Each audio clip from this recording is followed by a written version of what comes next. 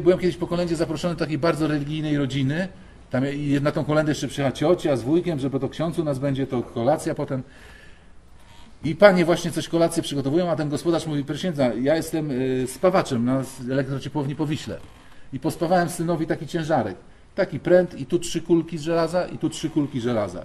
Chodź no tutaj, pokaż księdzu ile razy podnosisz. No jak on zobaczył księdza, ojca i wujka.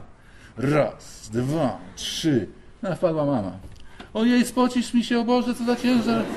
Nie wolno tak jedną ręką, co, proszę księdza, on już zostawi. Ja mówię, tak, tak, proszę pani, już zostawi ten ciężarek.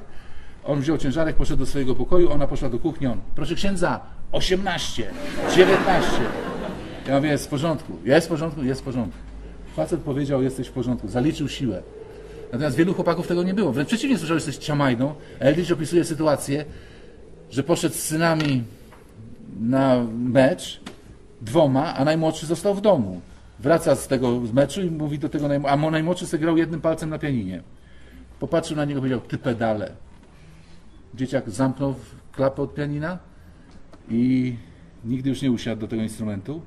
To jest przekleństwo, jakie ojciec może rzucić, bo ojciec może pobłogosławić, inicjować, natomiast yy, yy, może też przekląć.